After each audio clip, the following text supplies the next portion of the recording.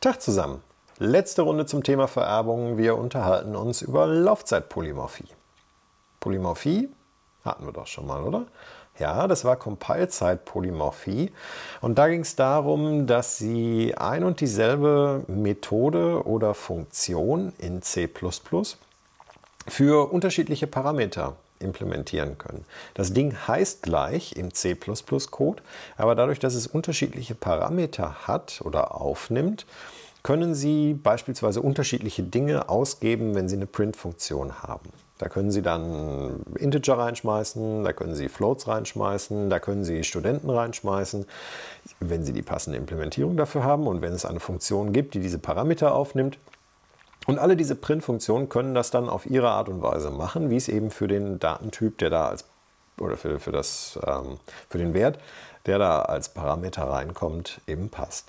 Wer löst das auf? Der Compiler und das war deshalb Compile-Zeit-Polymorphie. Jetzt gucken wir uns was an, was zur Laufzeit diese Umschaltung vornimmt. Und da geht es nicht über die Parameter, sondern da geht es dann tatsächlich über das, was vor dem Punkt steht und wo dann nachher eine Methode darauf aufgerufen wird. Aber das gucken wir uns an. So eine Klassenhierarchie haben Sie schon mal gesehen in dem Beispiel mit ähm, Person, Student und Student in Program.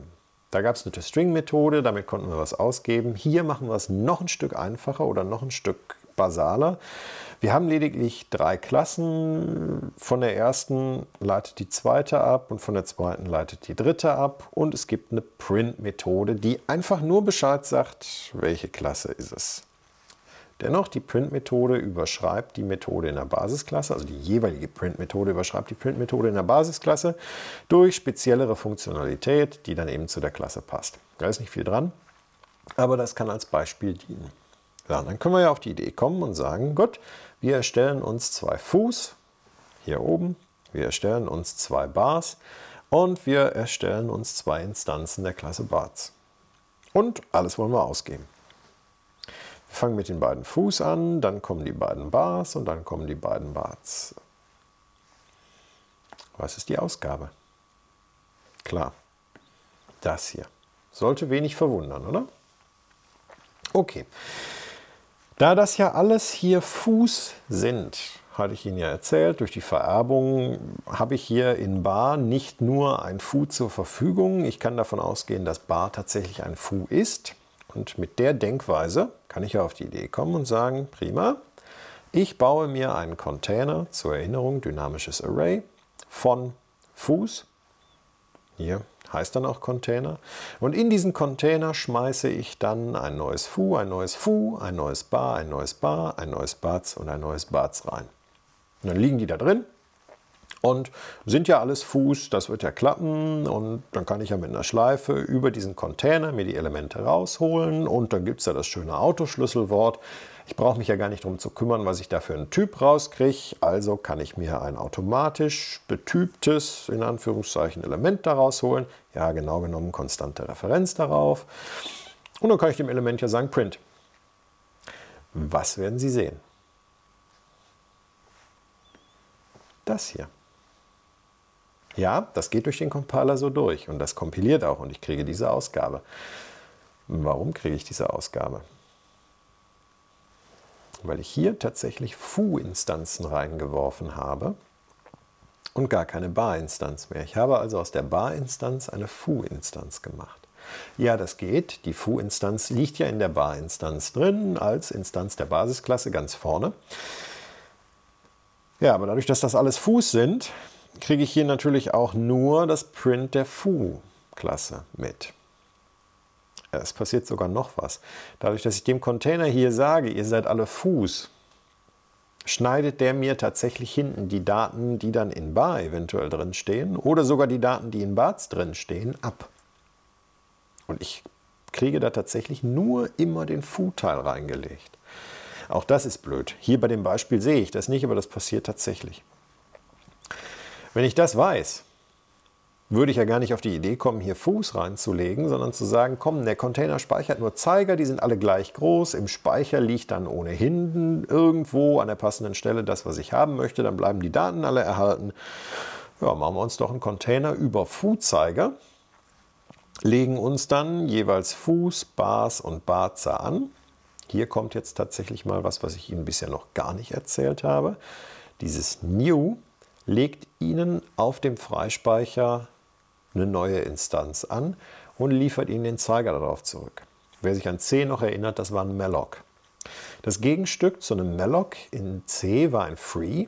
Hier heißt das Gegenstück zu einem new tatsächlich delete. Also malloc und free ist das C-Äquivalent zu new und delete in C++, aber das gucken Sie sich bitte auch nochmal selber an.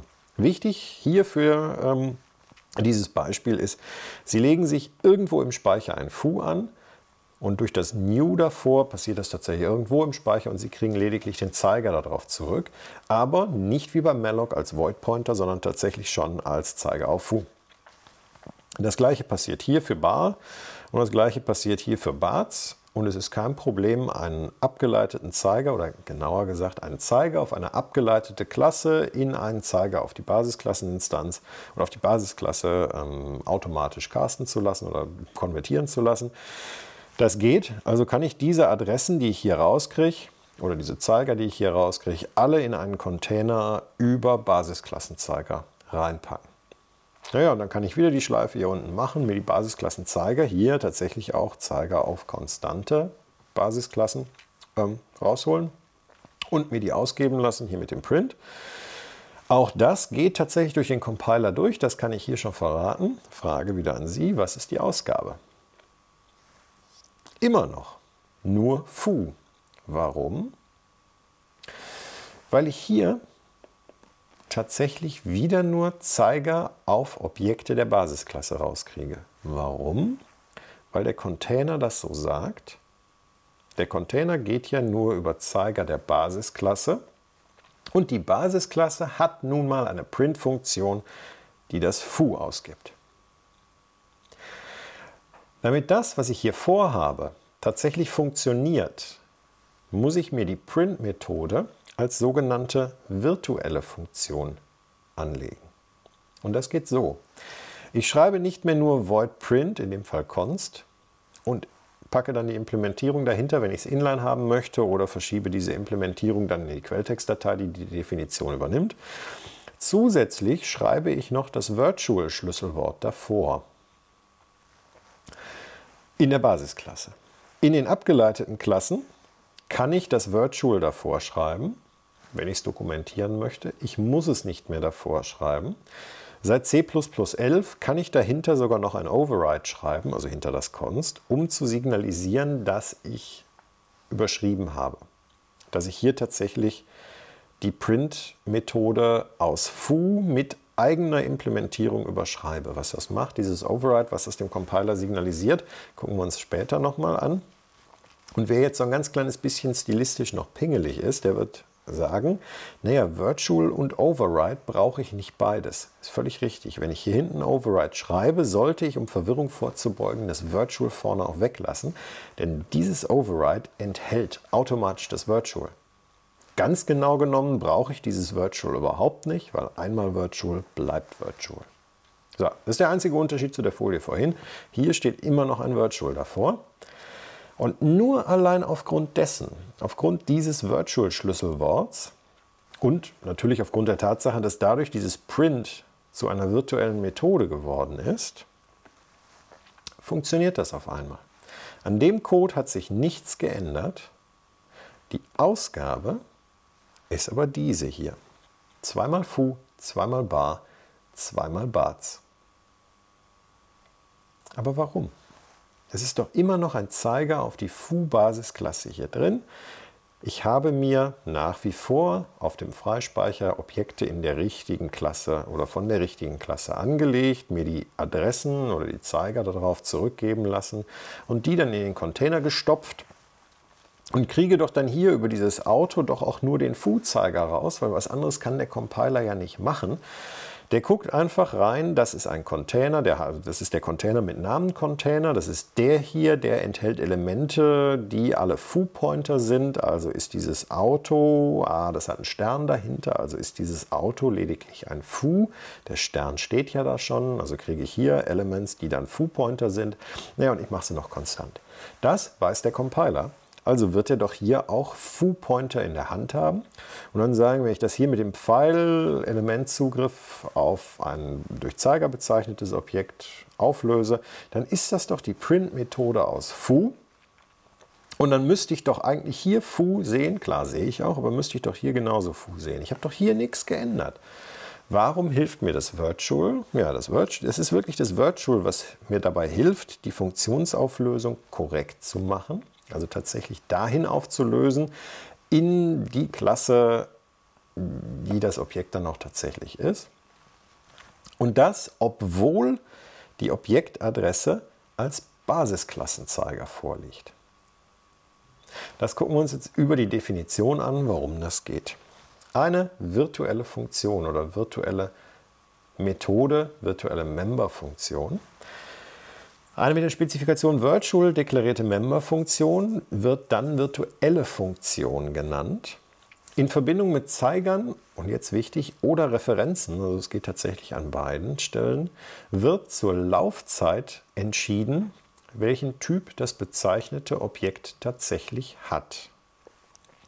So wird bei deren Aufruf die passende überladene Funktion verwendet und dieses ganze Konzept nennt sich Laufzeitpolymorphie. Das ist jetzt nicht speziell für C++, das ist speziell für objektorientierte Sprachen und ist im Endeffekt genau das, was Straustrup in seinem Zitat am Anfang meinte. Diese speziellen Charakteristika nutze ich hier jetzt aus. Wer mitgelesen hat, wird merken, ich habe was unterschlagen, nämlich zum Beispiel über die V-Table. Und das ist eine Tabelle, die bei C tatsächlich verwendet wird, die aber auch in anderen Sprachen verwendet wird. Aber bei C ähm, ist es ja, oder C ist ja das, worüber wir uns hier unterhalten in diesem Semester. Und diese V-Table speichert jetzt, wo die Methoden einer Instanz dann tatsächlich liegen.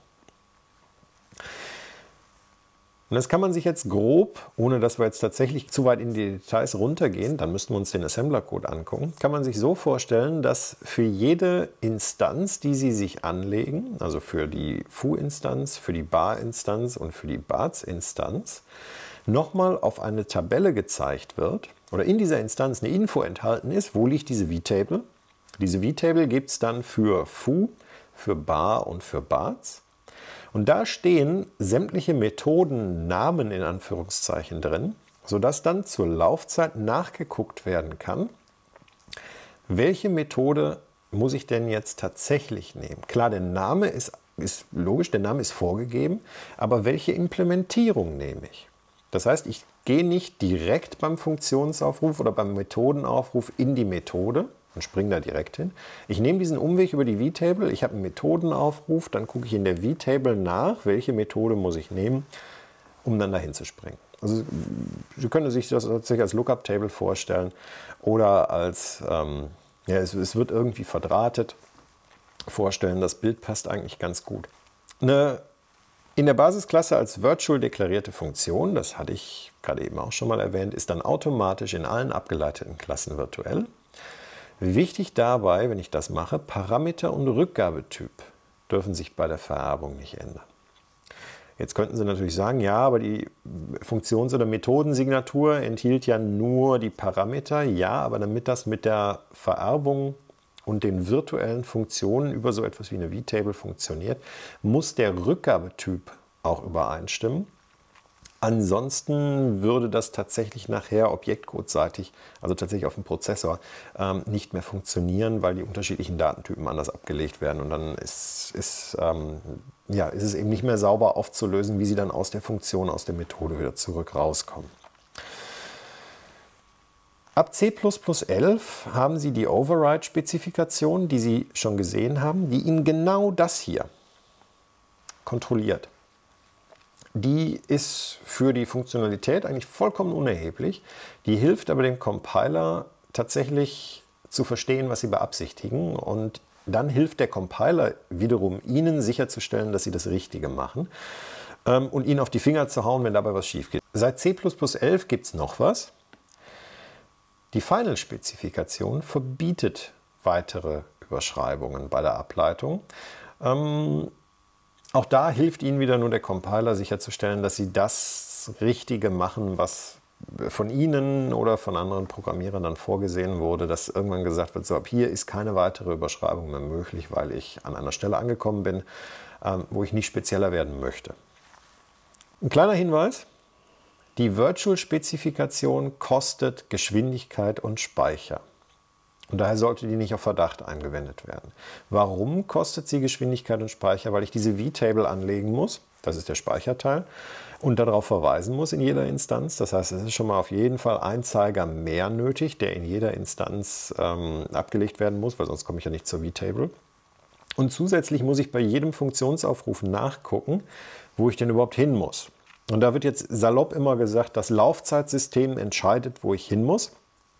Da sind wir bei C, aber dennoch sehr, sehr schnell, denn es ist kein Laufzeitsystem dazwischen. Das ist tatsächlich compilerseitig so verdrahtet, dass zur Laufzeit entschieden werden kann, ähm, wo ich hin muss. Und das funktioniert einfach durch, ich glaube, es sind zwei Sprünge, die zusätzlich gemacht werden beim Funktionsaufruf. Das ist nichts, wo ich nachgucke, oder wo irgendein System tatsächlich nachgucken, nachschlagen oder irgendwas suchen muss. Es ist mit zwei Sprüngen getan und wer da mal nachgucken möchte, kann sich das gerne im Assembler-Code mal angucken. Das ist wirklich sehr, sehr lehrreich da reinzugucken. Deshalb, es kostet etwas Geschwindigkeit. Es gibt aber Situationen, da macht sich das durchaus deutlich bemerkbar und da können diese beiden, beiden Sprünge dann doch zu viel des Guten sein. Aber die sind wirklich rar nachher. Da müssen Sie wirklich sehr, sehr, sehr auf Performance trimmen, Ihren Code, wenn Sie das vermeiden wollen. Ist aber sicherlich nicht, nicht Thema dieses Semesters hier. Aber dennoch nicht einfach auf Verdacht verwenden, denn es macht sich bemerkbar. Aber verwenden Sie es ruhig da, wo sie es gebrauchen können. Und versuchen sich nicht krumm zu legen, es auf Biegen und Brechen zu vermeiden und mit anderen Methoden ähm, oder anderen, anderen Mitteln zu erschlagen, was sie mit Laufzeitpolymorphie erreichen können. Wir müssen uns noch über virtuelle Destruktoren unterhalten und die benötige ich tatsächlich auch schon in dem Beispiel, was wir hier gerade gemacht haben. Sie haben sich mit New Foo-Instanzen, Bar-Instanzen und Bars-Instanzen äh, angelegt, allerdings nur den Zeiger auf die Basisklasse gespeichert und zu jedem New gehört ein Delete. Das ist genau das gleiche wie zu jedem Malloc ein Free gehört. Haben jetzt in dem Container aber nur Basisklassenzeiger und könnten dann ja auf die Idee kommen, dann wird ja auch nur die Basisklasse vernichtet. Ja, diese Aufräumarbeiten, dass die abgeleiteten Teile vernichtet werden, können möglicherweise nicht korrekt durchgeführt werden, wenn Sie nicht mit virtuellen Destruktoren arbeiten, wenn Sie sowas einsetzen. Also wenn Sie tatsächlich virtuelle Funktionen und Laufzeitpolymorphie einsetzen und alles dann in einem Container auf Basisklassenzeiger speichern wollen. Gucken wir uns die Klassenhierarchie, die wir hatten, für den Fall ohne virtuellen Destruktor an. Wir haben die Klasse foo mit der Print-Methode, wir haben die Klasse bar mit der Print-Methode und haben einmal jetzt einen Destruktor selbst implementiert, der bei foo einfach nur sagt, ich bin der foo-Destruktor und der in der Klasse bar einfach nur sagt, ich bin der bar-Destruktor. Prinzip ist, glaube ich, klar. Was wir jetzt machen, ist, uns ein New Foo und ein New Bar anzulegen, die jetzt nicht in Container zu packen, aber die auch nur als Basisklassenzeiger zu speichern. Und dann von Hand zu sagen, jetzt vernichten wir die. Das ist genau das Gleiche, was nachher vielleicht passieren würde, wenn Sie die tatsächlich dann ähm, einmal aus dem Container abbauen. Nicht, wenn Sie den Container abbauen, sondern wenn Sie den Container noch einmal entlang gehen und jedes Mal sagen, okay, delete. Was wird die Ausgabe sein? Nochmal zur Erinnerung. Fu hat ja gesagt, ich bin der Fu, äh, der Fu-Destruktor hat gesagt, ich bin der Fu-Destruktor, der Bar-Destruktor hat gesagt, ich bin der Bar-Destruktor. Bei dem Delete F, wenig verwunderlich, ich bin der Fu-Destruktor. Beim Delete B auch, ich bin der Fu-Destruktor. Warum? Naja, ich habe ja nur den Zeiger auf Fu. Und mit der Laufzeitpolymorphie kann das hier ja nicht klappen, weil er nicht virtuell ist. Es wird also nicht der Bar-Destruktor aufgerufen hier in dem Beispiel. Nun die Klassenhierarchie mit virtuellem Destruktor. Was ist dazugekommen? Ja, wie bei den virtuellen Methoden, lediglich hier das Virtual vor dem Destruktor. Hier auch nochmal wiederholt, unnötig, aber hier nochmal wiederholt, es ist möglich. Und das Override, weil ja der Destruktor hier überschrieben wird und da der Compiler nochmal drauf aufpassen kann, dass ich das richtig mache. Was sehe ich jetzt? Gleiches Spiel, Fu und Bar wird angelegt, als Basisklassenzeiger gespeichert und von Hand kaputt gemacht. Na klar, ich sehe den Fu-Destruktor Und dadurch, dass es jetzt virtuell ist, wird ja nachgeguckt in der V-Table, wo muss ich hin? Nein, es wird nicht nachgeguckt, es wird zweimal gesprungen und ich komme im richtigen Destruktor an. Und ich kriege an der Stelle hier den Bardestruktor. Und jetzt habe ich aber trotzdem den Fall, oder jetzt habe ich einen ähnlichen Fall wie bei den Konstruktoren, dass ich sage, ich muss aus dem Konstruktor in den Basisklassenkonstruktor, um da Werte weiterzugeben. Genau das gleiche passiert mit den Destruktoren automatisch. Hier an der Stelle, wenn ich im Bar-Destruktor bin und mit dem fertig bin, wird auch die Basisklasse automatisch abgebaut. Das heißt, ich kriege dann trotzdem noch meinen Foo-Destruktor. Aber wichtiger Punkt erstmal, der Bar-Destruktor wird ausgeführt und kann Aufräumarbeiten durchführen, was vorher nicht der Fall war. Dann müssen wir uns noch über abstrakte Klassen unterhalten.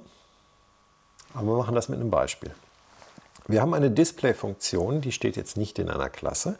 Die übernimmt einen Zeiger auf ein Printable und ruft dessen Print-Methode auf. Ja, aber den Zeiger, aber sie ruft dessen Print-Methode auf. Dabei verlässt sich Display darauf, dass das per Zeiger übergebene Objekt das Interface Printable implementiert. Und was bedeutet das? Hier mehr auf das Beispiel bezogen dass es eine Print-Methode gibt. Darauf verlässt sich Display, weil es ruft die ja auf. Und das kann ich jetzt garantieren, indem ich mit abstrakten Klassen arbeite. Dass das da ist, kann ich garantieren, indem ich mit abstrakten Klassen arbeite. Genau, das lässt sich nämlich, das, was ich hier dahinter stecken habe, so ein Interface, allgemeines Konzept oder wie auch immer Sie das nennen wollen, lässt sich eben über abstrakte Klassen darstellen. Wie funktioniert das? Ich lege mir eine Klasse Printable an die die Methode print enthält.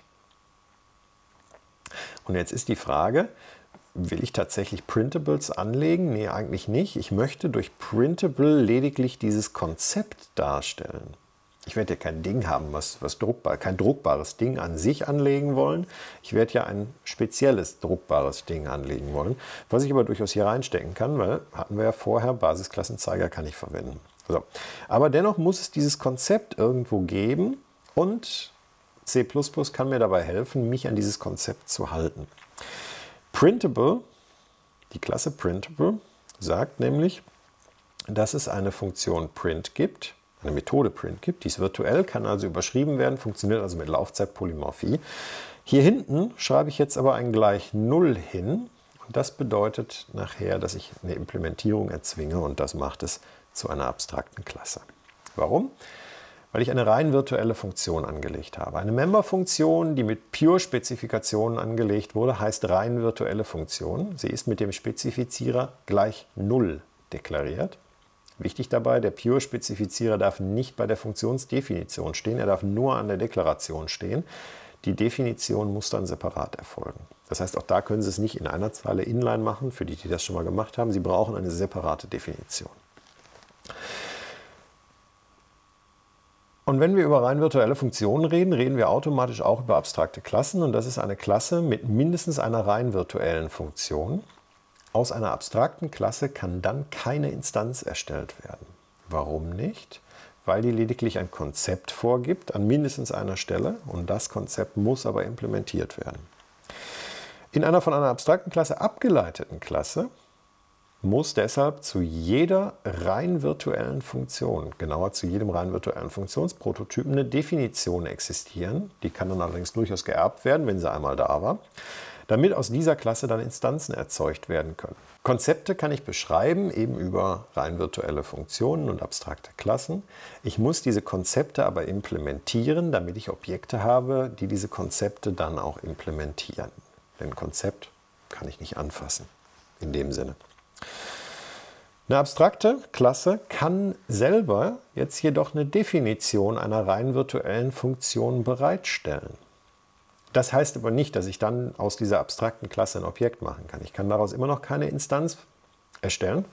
Dennoch kann mir die abstrakte Klasse eine Definition bereitstellen. Warum ist das wichtig? Weil ich ja durchaus Basisklassenmethoden aufrufen kann. Das heißt, es kann durchaus sein, dass das Konzept eine Basisfunktionalität bereitstellt, die ich nutzen kann in den abgeleiteten Klassen.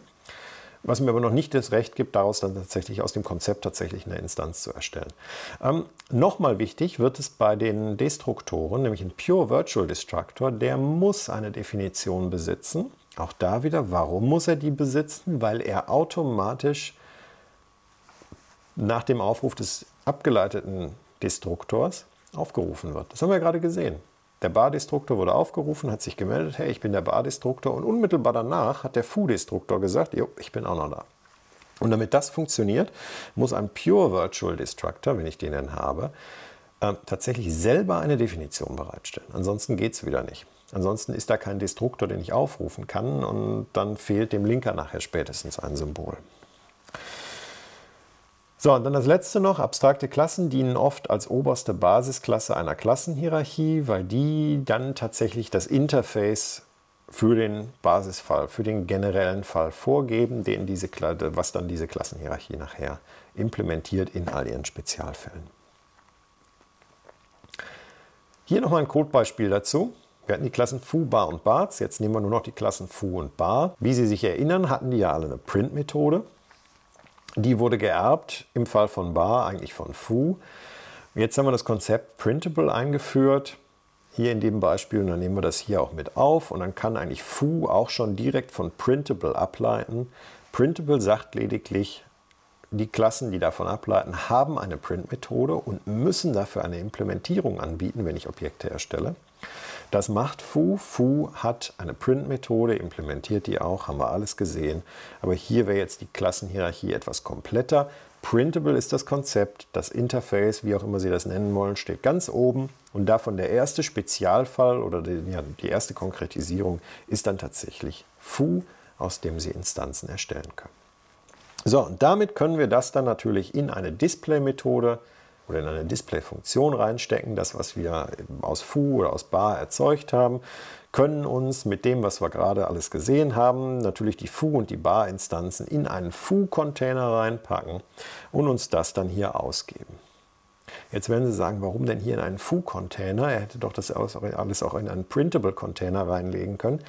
Ja, hätte ich hierfür, aber in den meisten Fällen möchte ich doch eigentlich über vielleicht dann doch das speziellere Konzept oder das speziellere Ding Fu reden. Ja, was dann auch automatisch printable ist, deshalb kann ich es hier ausgeben. Aber darunter kommt sicherlich was, was es dann nur in Fu gibt, was es dann nicht in printable gibt. Und wenn wir dann wieder an die Mehrfachvererbung gehen, wo ich gesagt habe, Vorsicht, Vorsicht, Vorsicht, hier diese Konzepte, printable, vielleicht auch noch sortable, oder writable oder storable oder was auch immer, eignen sich oder sind eine wunderbare Rechtfertigung an der Stelle für Mehrfachvererbung, wo das dann durchaus geht, wo ich durchaus mehrere Konzepte einbinden kann und garantieren kann, dass, die, dass, dass ähm, es die gibt, um dann beispielsweise zu sagen, naja, einen Studenten kann ich drucken, auf ein Blatt Papier, auf einen Bildschirm, kann ich aber auch in eine Datenbank ablegen, dann ist es storable. Und all das kann ich da durchaus reinbringen. Und dann habe ich da einen Punkt, wo ich wieder sagen kann, ja, Mehrfachvererbung ist dann doch gerechtfertigt und relativ gut handelbar, ohne die Probleme, die man das dann in der Regel einhandelt. Was haben wir uns angeguckt in diesem Teil zur Vererbung, der jetzt dann doch etwas länger geworden ist insgesamt? Wir haben einen Blick auf virtuelle Methoden geworfen und damit dann auf Laufzeitpolymorphie. Ähm, Denken Sie daran, dass Sie einen virtuellen Destruktor brauchen, wenn Sie Freispeicherverwaltung machen und sich nur noch über Basisklassenzeiger ähm, kümmern. Wenn Sie das nicht machen, könnten Sie es unter den Tisch fallen lassen. Da kommt dann aber wieder der Punkt, dass Ihr Code ja durchaus auch wiederverwendbar sein soll. Und wenn Sie es nicht direkt von Anfang an vorsehen, dass es einen virtuellen Destruktor gibt, wird da irgendwann jemand drüber stolpern, der Ihren Code wiederverwendet. Und oft sind sie es auch selber. Von daher gucken Sie, dass das mit den virtuellen Destruktoren dann auch direkt mit dabei ist. Ähm, da haben Sie nichts verloren, sondern relativ viel nachher in Richtung von Wiederverwendbarkeit gewonnen. Und schlussendlich haben wir uns über abstrakte Klassen und dann so etwas wie Konzepte, Interfaces etc. unterhalten, uns über den Pure-Spezifizierer äh, Pure unterhalten und damit dann eben auch über Pure Virtual Methoden, die ja, notwendig sind, damit es dann eine abstrakte Klasse ist oder umgekehrt. In dem Moment, wo ich eine Pure Virtual Methode in einer Klasse habe, ist sie abstrakt und ich kann keine Instanzen von erstellen. Haben wir aber alles besprochen.